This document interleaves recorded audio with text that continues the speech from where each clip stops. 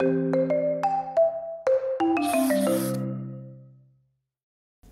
it's Ben here, and today we're looking at a Task 1 IELTS essay. It's a bar graph, and a bit of a weird one. I mean, when you look at it, um, it kind of stands out that it's comparing two things. So, figures for males and females, how much leisure time they enjoy in a typical week, so how much free time they have basically. In, I guess, um, either a one year or two year period, depending on how you interpret this. But yeah, a time in the past.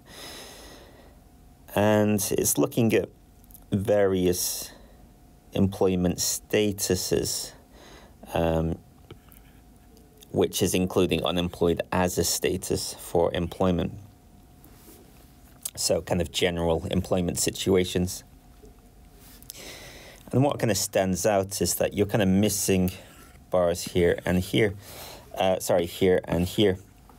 There's only one bar, which is for females. So it kind of needs a bit of critical thinking. Why is that the case? Um, well, let's say that um, they do a survey and they survey 100 people. So there's 100 participants or respondents. Uh, it might be the case that um, they chose like 50 men and 50 women. And they asked them, What's your current employment situation for these men and women? And maybe, you know, 40%, uh, sorry, 40 men said that they were working full time, five were currently unemployed, and five were retired. And just none, none said that they were working part time or they were uh, working as a house husband. So it could just be something like a small sample size. 100 people and 50 men would be a really small sample. We don't we don't know that, so we just have to be careful with our words. Just say that we don't we don't have any data provided for men for two. Um, but there might be a little bit of a clue. Housewives is usually used for women. Uh, we might say something else like house husband for a man who does the same uh, role. And um, if we're talking about men and women, we might say something like homemaker or something.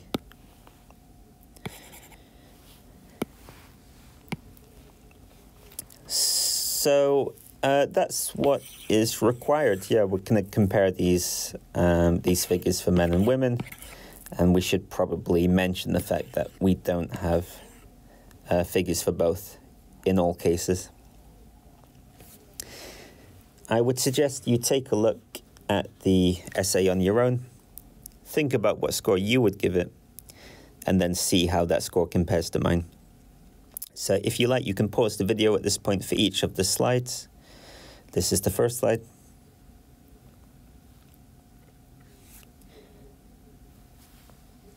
And the second.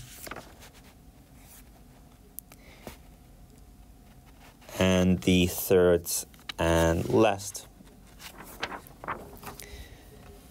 Uh, it's a little bit small, but these are the uh, the band descriptors. So the examiner will assess you using these basic criteria.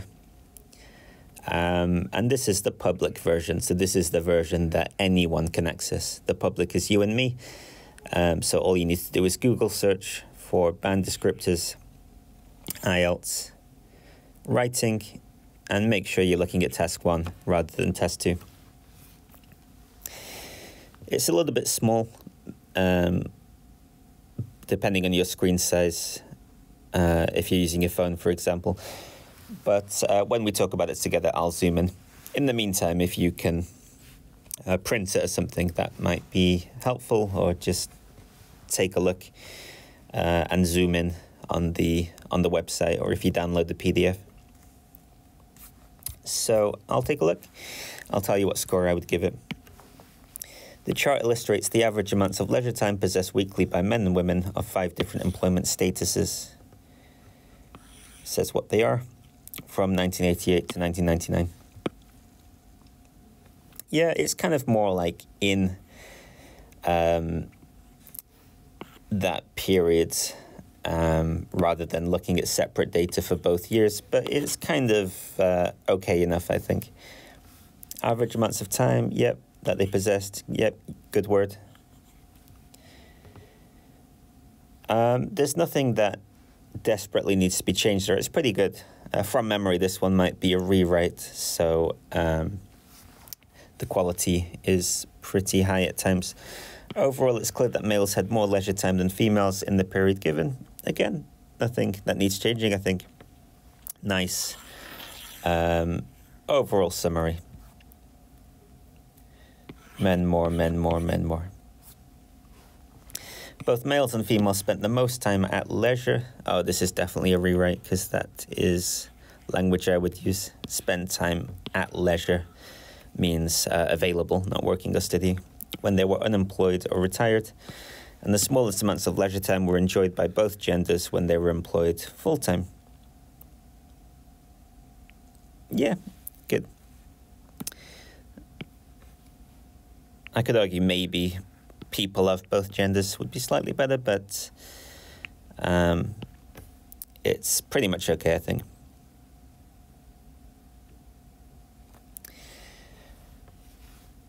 Furthermore, males were not part of the data for either employed part time workers or housewives. Yeah, if you say furthermore, it kind of sounds like you're adding a point. Um, and it's not really adding another general trend, it's more just mentioning something that we have to keep in mind. So I might change this one.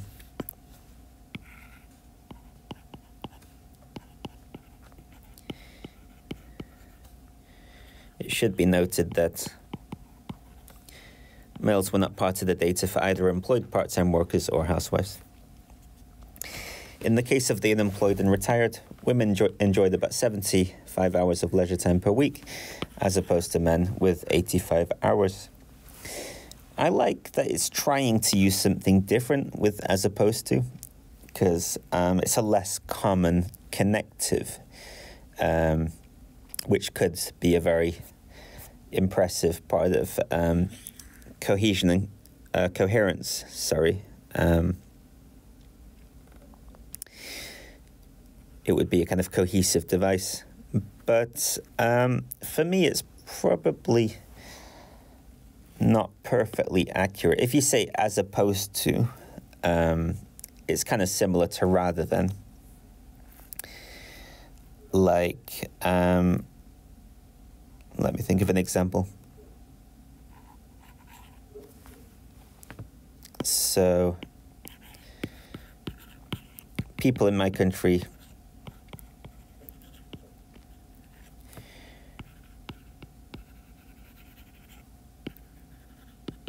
usually watch movies at home.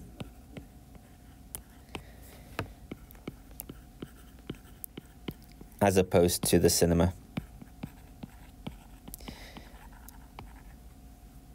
so it just shows that I'm um, kind of highlighting that um, they do it at this rather than at this. I'm trying to compare these two things. It could be on a phone or something like that, but uh, in this case, I'm kind of making comparisons between watching movies at home and the cinema, and I can use as opposed to. It works best when there are only two choices, I guess. Um, but I still kind of like it because it's um, it's not the perfect choice, but it's still very smooth um, and grammatically correct, even if the meaning might not be perfect. And I like that it's trying to do something different. Um, so it's not it's not kind of perfect, but it's a really good effort.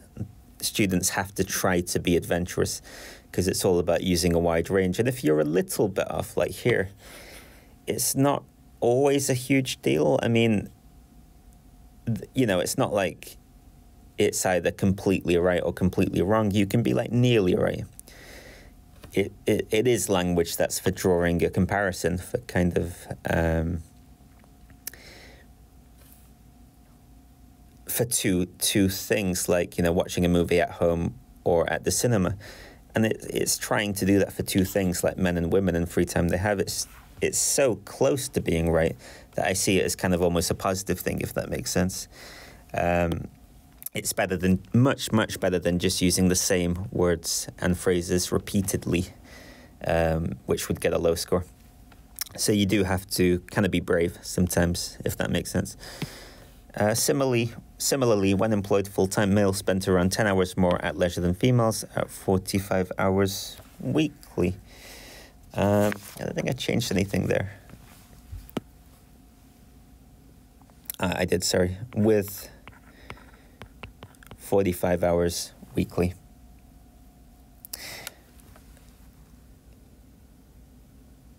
Um, might be slightly better, yes. So it's not red, it's not a mistake. But when we say at to give a figure, it's usually when we're just giving uh, no other information except for the figure.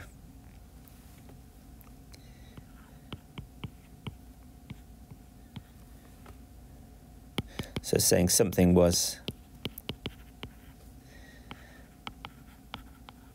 the highest figure at that time at 5.5%. But here it's more like uh, with men enjoying 45 hours weekly. So that's when I tend to use with rather than have when it's kind of giving a bit more data. Uh, sorry, giving a bit more detail, if that kind of makes sense. Um, this figure was, well, the figure we're looking at now, so we could say is, I suppose. Um, but there is an issue with tense for the next part. So, on the other hand, in the case of part time employees and housewives, data are only provided for females. Yeah, understanding that data is actually a plural noun, which a lot of people get wrong. So, data are is correct, singular is datum. Uh, you'll look very impressive if you do that. So I can tell this is a rewrite from the student, definitely. Data are only provided for females. So this is where the tense issue is. We're talking about the past females who were working part-time. That's just a little typo, hit the wrong key. Have approximately half of the leisure time enjoyed by females who were not working at that time. and actually the rest is is pretty nice using language that I like. To make comparisons, over 40 hours of leisure time was available weekly to housewives, which was slightly more than the corresponding figure for full-time working males. You could argue that it's were available because the unit is hours, which is countable, but we're talking about free time, so time is uncountable. So uh, I think it's it's a very small issue. I'll stick with that. Was. Um, but yes, slightly more than the corresponding figure for full-time working males. That's quite nice. What did I give this? I basically gave it um, eight for everything. Um,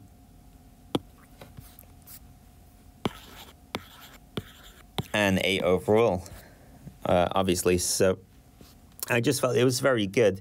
It never felt like, um, I suppose, a native speaker who would go into a bit more detail, like fully developed response, because um,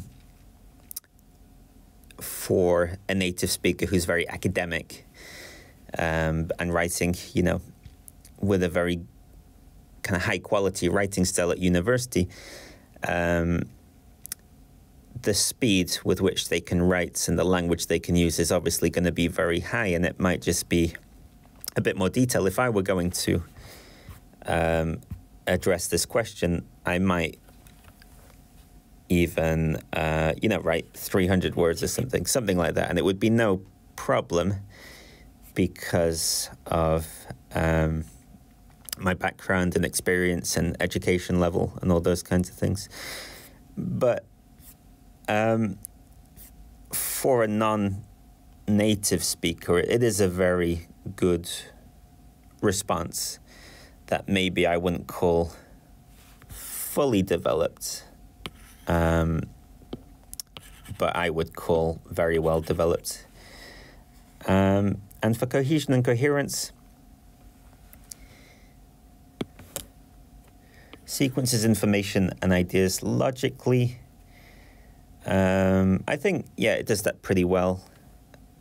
Um, but I wouldn't say in a way that attracts no attention, which is obviously, again, going to be a high level native writer um, for things like uh, connecting the language and paragraphing and things like that. Like here, for example, uh, forgive me, it's not really on the other hand. If you're switching from discussing men to women, for example, that might be possibly on the other hand. But when you're going from uh, some of the employment situations to other ones, there's no real need to contrast them in that way. Uh, you could do working people like full time workers and part time workers, and on the other hand, um, people who weren't employees. That would kind of make sense, but there, not so much. Um, and yeah, you know, just small things like the use of furthermore we've talked about. Um, I'm being a bit picky, but just the overall feeling is it's not in a way that attracts no attention. I'm I'm a bit of a snob when it comes to writing. I've I've always been a very very I don't mean to sound arrogant, but I've always been a very very talented writer, even since I was a child, and um, I took that to a very high level uh, when I was at university, kind of uh, in in my prime, writing academic essays, and um, I am very critical of writing from other people as well as my own writing. And again, for um, lexical resource, wide range of vocab fluently and flexibly to convey precise meanings. Yeah, I think so. Yeah. Um, eight is still very high, but for me, it would be slightly more natural and sophisticated um, to get that nine score.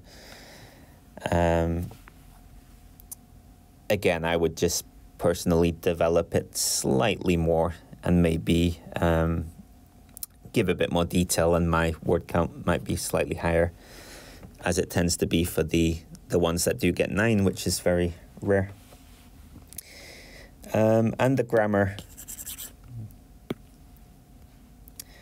Majority of sentences are error free, but it's not um, full accuracy, which would be required for nine, uh, because there are these tense issues, for example. So overall, it's very good.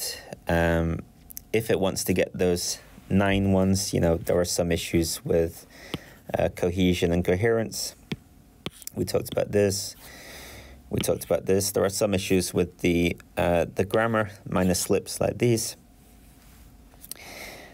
Um, and if you look at it the length, you can see quite quickly that it deals with it well, but it's not extensively discussed in the uh, the level of detail.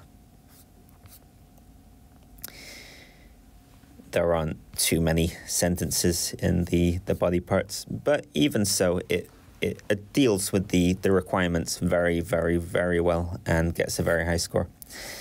I wonder how closely your scoring matched with mine.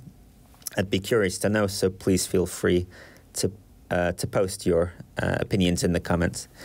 Thank you very much for watching, as always, and uh, that's all from me.